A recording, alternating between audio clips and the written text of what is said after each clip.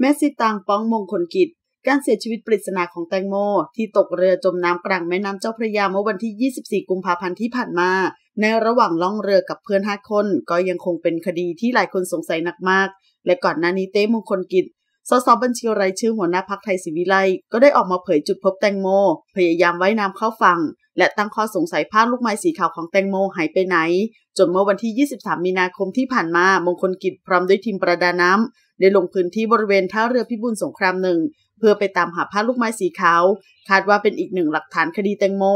และในขณะเดียวกันแมสซิตังเน็ตไอดอลชื่อดัง ก็ได้เดินทางไปดูการปฏิบัติตามหาผ้าลูกไม้สีขาวของแตงโม ก็ได้เปิดใจว่ามาให้กำลังใจสสเต้ รู้สึกประทับใจ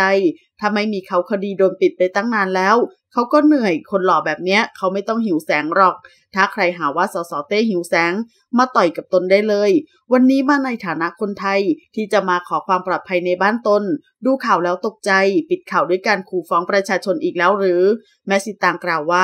ถ้าใครมาขู่ตนก็ไม่ยอม ยินดีเข้าคุกตามคำขู่ เพราะตนไม่ใช่นักกฎหมาย แต่พวกที่ขู่ให้มาต่อยกับตนเลย จะสู้ตาย สงสัยว่ามันเกิดอะไรขึ้น ถ้าจะอยู่กันแค่กลุ่มเดียว ตนหากินกับคำว่าคนไทย แปลว่าอิสระมาตั้งเยอะ แล้วตอนนี้คนไทยไม่ได้แปลว่าอิสระหรือ เวลาสงสัยอะไรก็โดนขู่ เมื่อพูดถึงแตงโม แม่สิตังถึงกับหลั่งน้ำตาบอกว่า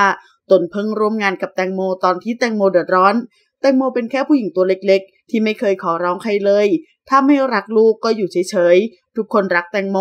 ถ้าคดีถูกปิด สรุปว่าเป็นอุบัติเหตุ ว่าแตงโมไปปัสสาวะ แม่ก็ไม่อยู่ประเทศนี้ ให้อยู่กันไปเลยคนไทยไม่ได้แปลว่าอิสระอีกแล้ว ก็ไม่รู้ว่าคดีแตงโม